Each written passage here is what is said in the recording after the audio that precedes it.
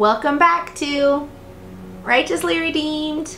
All right, so I'm Autumnie and I am getting the pure joy and opportunity to share my Bible study that I wrote and we're on chapter two. So um, chapter one is recorded. If you haven't gotten the Bible study, you can get it on all platforms. It's at Barnes & Nobles, on Amazon. Um, you could just reach out to me. I can get you a copy. Um, you can do it with a group of ladies or um, I know it's, I don't know if any guys would do it, but maybe like your sister or your mom or your aunt or your grandmother. Um, or you could just do it by yourself. The book is so small, it fits anywhere. Um, and you can do it, you know, at lunch. Each day is so short. It doesn't take long, but it's amazing how just three to five minutes just to kind of reflect on some really great questions I have in here for you. And um, there's also a song, a praise and worship song for every single day. So you can listen to and maybe learn a new song that you haven't heard yet. So um, let's get right into this. All right, so for chapter two, uh, if you are leading the group, which I've mentioned before, you can be a leader. Um, even if you do it once and then you want to get some girls together and do it together, um, you can do that. You are more capable than you realize. So don't don't dismiss small beginnings, right? Um, all right, so what are you thankful for? And then it always goes into prayer request. Uh, makes a big difference when you can really emphasize your gratefulness and the things you're thankful for. I'm gonna share mine uh, for today especially. Um, I said I'm thankful for my hair. Um, I have really big curly hair. Sometimes I don't know what to do with it. Sometimes I don't know how to tame it. Um, but I'm thankful for it. I'm really thankful for my hair. I have sweet friends, time off, resting, um, weekends, extended breaks. I'm a teacher, so um, those are always so appreciated. And um, just having friends who've become family and God's protection. I I just know that God has protected me from so many things and I just praise him for that and I'm thankful. So uh, I know thankfuls can kind of come hard for people at times, especially if you're in a frustrating season. Um, but there's always something to be thankful for. The smallest thing, you can find it. I know you can. And then prayer request. So um, I'm gonna go into day one and I've referenced another verse at the beginning and there are coloring pages and I have my colors too. So uh, you can color and you know just play one of the songs that I have listed and just kind of take a moment to yourself.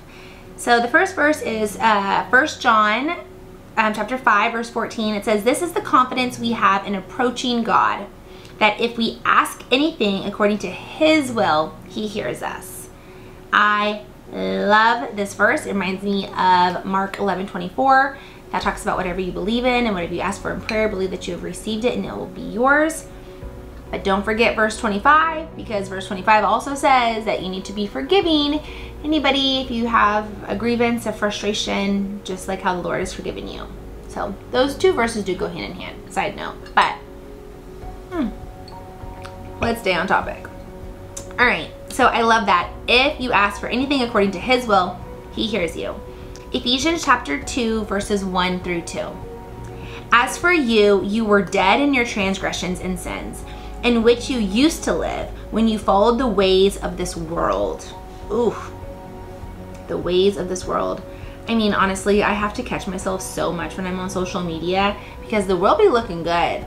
The world is enticing. And I'm like, is it the world that I'm following it or is it the word that I'm following, right? It's kind of interesting how world and world are so closely spelled and they sound so similar, but they lead different paths of life. And the ruler of the kingdom of the air and the spirit who is now at work in those who are disobedient. So the first question I have on here is, what is one thing you used to do but have stopped doing? And I think this is such a powerful question because if there are things that you are still doing that you need to stop doing and you keep saying you need to stop doing, this is a perfect time. Work on stop doing them. If you think to yourself, gosh, I don't think I've stopped doing anything, that means that you're not growing, you're not changing, you're not developing. We have to constantly be growing in something, getting better at something, bettering ourselves for the kingdom of God, especially if you're spending time with the Lord, if you're around other believers, if you're plugged into church. I mean, your walk should be transforming. And sooner or later, people will see it. Um, so, what's one thing that you've stopped doing? You used to do, but you stopped doing. Well, I can tell you right now, one thing I used to do and I stopped doing was I don't go to the club. I don't go out to the bars. Um, I have a few friends that, you know, they'll go out for like their birthday or something. But, and I never really was a big partier anyways. But like, I have zero, zero desire to do any of that. Um, something else I stopped doing that I used to do was the way I dated. I've dated completely different now. The way I date, the way I desire to be pursued. I mean, that's even changed in the last couple of years. What I'm tolerating, what I'll accept. Um, to just know once you know the value of you, you don't really settle for anything less than that. And it's hard to think, I have value, like I have worth. Yes, yes, daughter of God, you have value. Yes, daughter of God, you have worth. And you should be pursued, you should be sought after. And it's not a bare minimum. You're not the crumb, you're the whole meal, you're the whole thing. And if you don't feel like that, I want to encourage you to be able to spend time with the Lord and reflect on the areas that maybe you want to better yourself in so that you can start to see yourself how, how God does.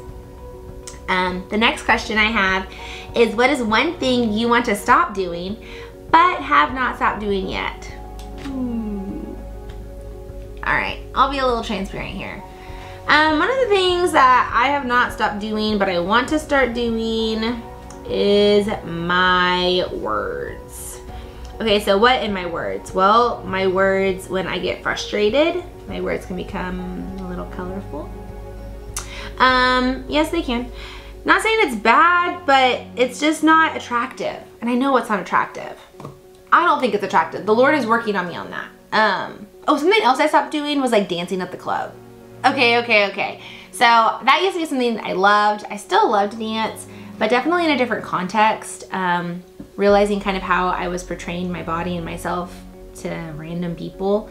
Um, it just didn't feel good and I didn't feel like I was representing the Lord in the best light. But back to something I haven't stopped doing yet is my words. Um, when I get frustrated, even like words against myself, I still every like day I have to like catch my words to say, I'm not gonna speak negatively about my body or about how I look. That comes so easy for me, this negative self-talk. I mean, I can just rip myself a new one and I'm like, why do I do this? Um, something I'm still working through. If you've mastered it, I am so proud of you because our words do have power of life and death and that is me being able to tame my tongue, which is part of self-discipline, part of the fruits of the spirit, and I mean, it's a constant, it's a constant thing. It's a constant work. So um, this is a prayer. I'm gonna pray it out loud. I have it listed and um, I hope you just join me for the end of chapter, or chapter two, day one. Um, here we go. Ask God to help you in this area, whatever it is. Tell him you need his help to overcome this struggle and attachment to the world and no longer want to feed your fleshly desires anymore. Transformation does not come overnight or in a single day. Many of our habits have been built over years of living and being in this world. As you recognize our acceptance, as we recognize our acceptance and freedom in Christ Jesus, our lives begin to change, including the way we think and act. Amen. So I just want to continue to encourage you that we're never fully complete. We've never mastered this world. We've never mastered everything. The tongue is the hardest thing to master. I mean, it's so, can be so violent and hurtful. Um, the song I have right here is called Ask by Love and the Outcome. Jesus is our redemption. And there's a little coloring page that you can do. All right. Day two. Okay, day two. Ephesians chapter 2, verses 4 through 5. But because of his great love for us, God, who is rich in mercy, made us alive with Christ even when we were dead in our transgressions. It is by grace you have been saved. Ooh, there's that grace word again. All right, I'm gonna put in a plug right there. So um, we do have our third conference this summer. Um, all the details will be announced close to the end of April, beginning of May. Um, super, super exciting. So as you continue on with the Bible study with us, you'll get little snippets and information um, to know to come. It's by grace you have been saved. We used to live in sin, not knowing, not even knowing what we did was sinful. But once we entered the body of Christ and began to learn his character and word, our passions and desires start to change. The best and sweetest part of this is God's mercy and grace that covers us and blesses us while forgiving us. It's a lot of us's. Hmm, well, it's you and me. And not giving us the punishment of death that we deserve. Jesus is our redemption.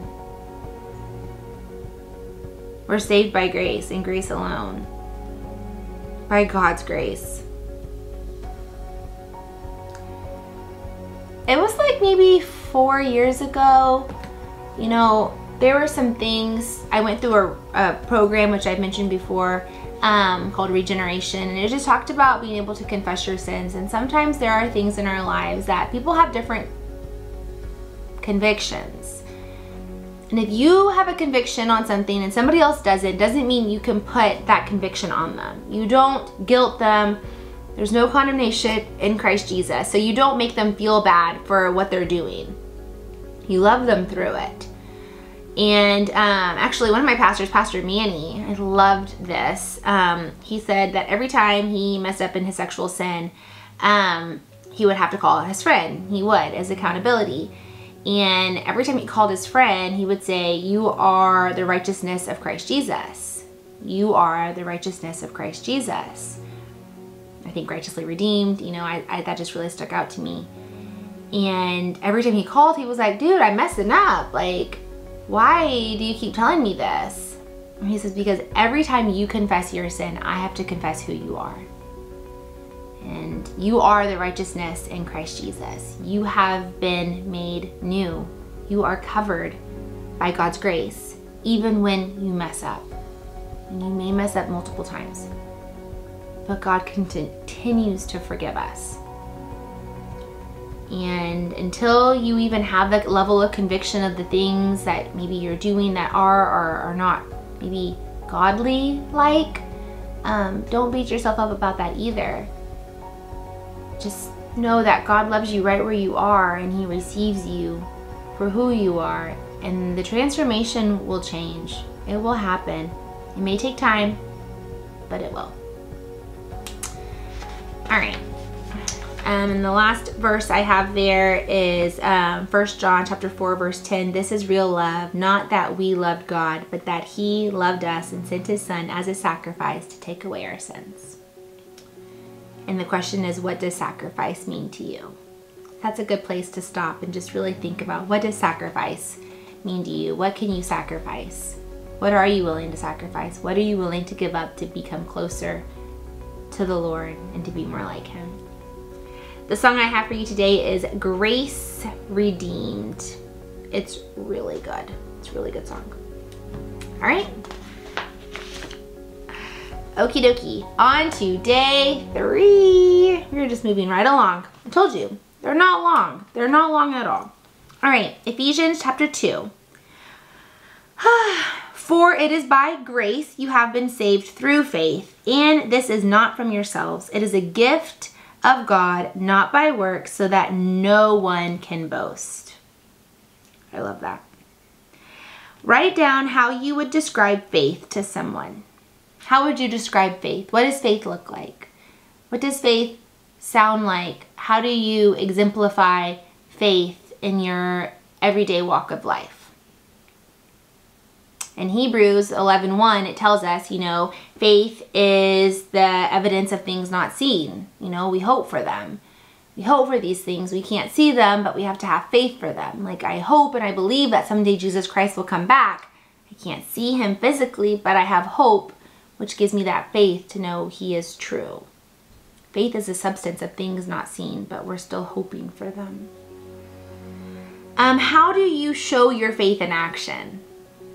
Something I like to do with my faith in action is just continue to declare the things that are good over myself even when I don't feel it. That's honestly faith for me because there are moments where I don't feel righteous or holy or pure or kind or gentle or loving. I mean, I really, really, I mean, come on. But when I can start to say like, I am kind, I am sweet, I am loving, I'm forgiving, I'm proactive, you know, that's just one thing that I know the Lord didn't call, call me to be lazy. He's called me to many things, and lazy is not one of them. So I'm going to be proactive. Um, you know, just a gentleness, a sweetness. Sometimes I don't feel that way. Sometimes I feel harsh, you know, and mean. And it's like, that's not what God says about me. So if I have faith to believe who God's called me to be, even though I don't see it, that's me walking by faith. I'm gonna have a great day today. I may not see the great day, may not feel like a great day, but I have faith that God can make it great. And it's not like false positivity either. That's not what I'm saying. That's not how I'm thinking. It's definitely, it's a faith. It's a faith walk. It's saying, I know that today is the day that the Lord has made and I will rejoice and be glad in it. What is something you are really good at and would be willing to help someone grow in that area? So that kind of just goes back to, um, you know, you have a gift from God and you have things that only you can do. And what's really cool is that sure it may look like somebody else's or it may be similar to somebody else's, but you are not that somebody else. God knit you together in your mother's womb. He has so many perfect little details about you that he wants to use. And um, recently, oh gosh, like three days in a row, somebody was like, how many jobs do you have? I was like, huh? Started counting them and I think it was like five or six. But it's because these opportunities have presented themselves to me and I've been able to grow and learn um, and just develop more gifts that I didn't even realize I had um, sometimes God will be able to give you opportunities to explore a gift that He's placed in you that you would have had no idea. I like this analogy. I thought of this years ago in one of my videos. Um, and it's like under the Christmas tree, there's all these big gifts, okay? And everybody sees the big gifts. And big gifts are great. But sometimes there's a really small gift. It kind of goes unnoticed. It may not be seen at first. But oh my gosh, if you open that gift, that tiny little box, women, we know where we're going with this. There's a tiny little box under the Christmas tree waiting for you. It could be a huge gift. And that gift could be a ring, and that ring could be a ring to symbolize, to symbolize a relationship, a covenant to come, um, years of marriage. That's a huge gift. And it didn't look big. You didn't notice it at first. And I just want to encourage you, like, there might be little gifts inside you that you haven't even explored yet, and you don't know how big they could become. You have no idea what God has put in you open that little gift. Don't don't dismiss it. Because it could be bigger than you realize. It really could. All right, and our salvation is a gift. Alrighty, now we are on chapter four. Moving right along. Okay, so chapter four covers uh, super, super well known and definitely favorite verse by many. And if you've never heard it, well, you're in luck. So Ephesians chapter 2 verse 10 says, For we are God's masterpiece. That means you are a masterpiece. He has created us anew in Christ Jesus so we can do the good things He planned for us long ago. Masterpiece definition is a work of outstanding artistry, skill, or workmanship. You, it's basically you. You are a masterpiece. It can be really hard to believe or even view yourself as a masterpiece. Someone who is defined as outstanding. Do you view yourself as outstanding? God does. He views you as perfect, redeemed, and good. In fact, the Bible tells us every good and perfect gift comes from the Lord. You came from Him. He is your creator. And then there's a little page that you can color. Um, I like love this one so much. And when I just think about, I mean, I'm even gonna, sometimes I like to just kind of pause and just remind myself too, like, my creator thinks I'm outstanding because he's a perfect God. He makes no mistakes. And he sees you, he sees me as outstanding. And it's not by our grades, it's not by what our body looks like or the clothes or the size that we wear. Just us. Just us as people. The broken, flawed people we are, but in His eyes, as we're accepted into His family, He sees us as outstanding. You should just tell yourself that.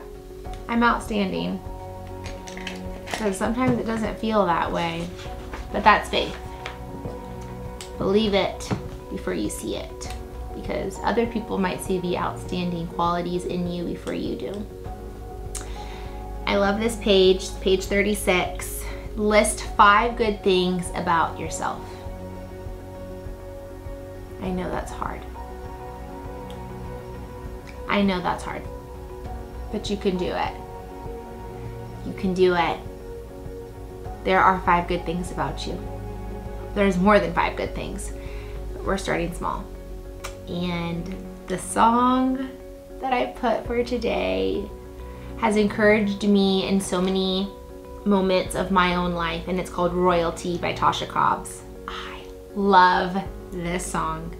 I love it, I love it, I love it. If you haven't heard it, I bet you're gonna love it too. Okay, day five. Here we are at the end of chapter two.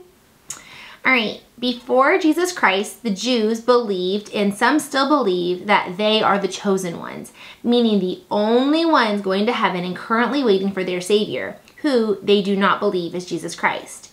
If you are not a Jew, then you are considered a Gentile if um, I'm a Gentile and you are a Gentile, if you're not a Jew. Jesus Christ, however, paved the way for both Jews and Gentiles to come to him and receive eternal life and a home in heaven. No more separation, no more exclusion. You are accepted by Jesus. Make a list of all the different groups, all the different people groups. Blacks, whites are just a few examples all the different groups that you even identify with in yourself. There's so many groups of people, so many ways that people identify themselves nowadays. Oh my gosh. I could go into that, but there's just so many, so many different opportunities, extracurriculars, interests, um, pronouns that people are now going by. And those are different groups and what people accept and don't accept or what people like or people don't like. So just make your list and recognize that right here it says, so you see it.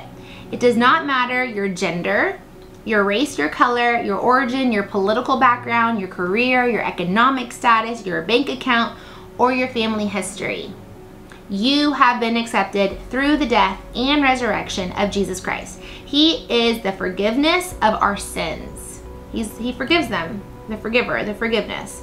He is our saving grace. Ooh, there's that grace word again. Our conference coming up this summer. He is our ride or die. You're accepted. Doesn't matter any of those things. I love that because there are so many groups that will say, no, you can't join us. You can't join us because you don't look a certain way or you don't act a certain way. Granted, remember back in chapter one, we talked about rejection and how you can perceive rejection. Once you realize that you're not supposed to be accepted into every group, you can have peace and freedom because you're accepted with Christ. He's the group you want to be a part of. He's the family. He's the team. Ephesians chapter 2, verses 13 through 16 are listed all the way through here. Um, and then it says, Jesus came so that there may be peace between and within his creation. I'll read that part again. It says that Jesus came so that there can be peace between within his creation and his children because we have so much warfare and anger and disagreements. And God wants people to be at peace with one another. If it is all possible, live at peace with everybody. His creation, his children who have accepted, who have accepted him and welcomed him into their lives and hearts and directs their actions. For he himself is our peace. He is called the Prince of Peace. So this last little bit of chapter uh, chapter 2, day 5, Ephesians chapter 2, verse 22 through 21. I'm going to read this to you. In him the whole building is joined together and rises to become a holy temple in the Lord. And in him you too are being built together to become a dwelling in which God lives by his Spirit. You are part of the body of Christ. How can you contribute to grow God's kingdom and reflect His peace towards others? You can forgive. Just forgive. Forgive, forgive, forgive. Because the way that the Lord shows His peace towards others was when He was on the cross. He said, Father, forgive them, for they do not know what they are doing. And through three in one, the Trinity, Jesus Christ was able to forgive them too. And when we can say, Father, forgive them, for they do not know what they are doing, we cast off our having to control the understanding or the meaning and give the person grace to say, You don't even know what you've done to me. You don't even know the pain you just brought me. But through Jesus Christ, I can forgive you. Through Christ and Christ alone. You can forgive and that's showing peace. You're keeping the peace. You can be in uproar. You can be in anger. You can hold that bitterness or that anger, that resentment. You can go bash them to other people. Or you can say, Father, forgive them. Release them to Him because He loves them so much. He loves them still. And the song for um, day five is You Are Holy. I love this song because I learned this song when I was in middle school, I think it was, early elementary. It says, You are holy, you are my Prince of Peace, and I will live my life for you. You are my Prince of Peace, and I will live my life for you. And I just love to meditate on knowing that He is my Prince of Peace, and I live my life for Him. You are my Prince of Peace, and I will live my life for you. Live in peace. Go in peace. Serve the Lord. Thanks be to God. All right, guys. Until next week, chapter 3. Can't wait to see you. Bye.